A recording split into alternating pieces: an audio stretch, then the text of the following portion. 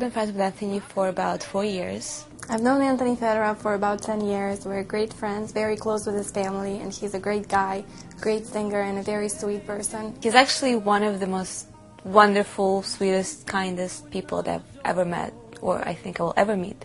He has really an amazing personality, and the only thing that I feel bad for is the fact that people just see him on TV and they really don't know what he's like in person. If anybody could just spend a day with him, they would love him. He's a very great guy, loves singing, obviously, and he's actually very good at it. He's been um, in love with singing ever since he was probably able to consciously understand what singing is.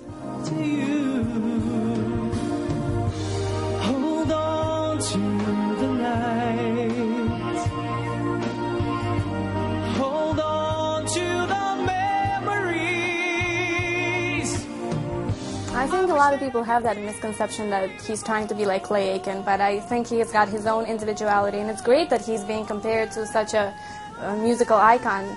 So I don't see how that would hurt him.